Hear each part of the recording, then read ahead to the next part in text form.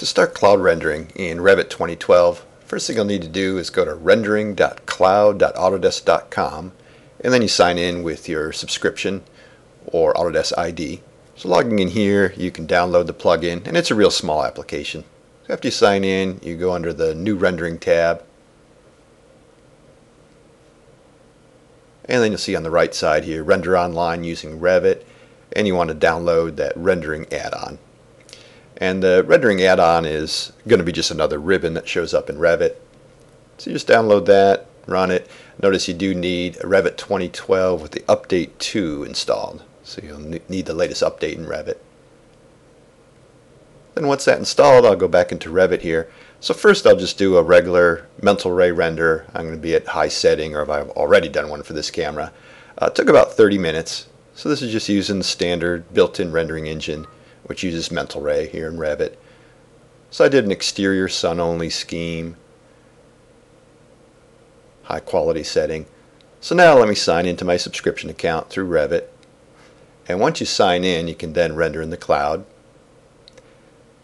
So sign in just gives you that active link to the cloud server.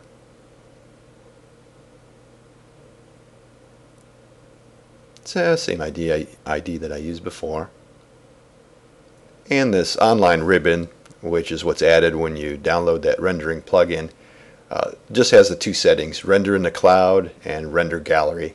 So once you're signed into your subscription account you just render in the cloud so I just hit that button in the ribbon. And then it gives you the steps here. So you're basically going to be selecting the views you want to render. You can do one or more camera views. And then you'll get an email notification when it's ready.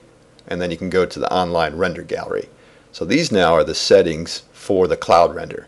Now they're not using Mental Ray, so this is a completely different rendering engine. So your result is going to look slightly different. You can go still images or panorama. You've got four quality settings, four image size settings. So I can go with the medium resolution and then file format. You can go PNG, JPEG, or uh, uncompressed TIFF. And then notice notify by email when complete and just click on start rendering. And your file is sent off to the cloud. So it's completely off your processor. You can go back into Revit and work with it as you normally would. And then you'll get notified through email that the rendering is complete. So that just works in the background and, and not taking any of your processor or RAM. You just work in Revit as you normally would. If you want to look though in progress to see what's go going on at any time you can just click on the render gallery so I just clicked on Render Gallery, log in again, and this gives you access to all your previous renders that you've already sent to the cloud, and it also shows you anything in progress. So here I can see under Project, that render there still being rendered. I have a previous test render that I had sent out there. Gives you the information about it as it's rendering. And now that render is almost complete. So the total time it took was from the second that I hit that button was three minutes. So my 30 minute render on my machine, which is a quad core machine, 8 gigs of RAM, pretty decent machine, took 30 minutes at that high quality. Here it took 3 minutes to get it completed. And what's nice here too, if I click on the completed image, I have other settings that I can work with. Here I'm just going to expand it so I can see the render a little better. And you can share these with uh, Facebook.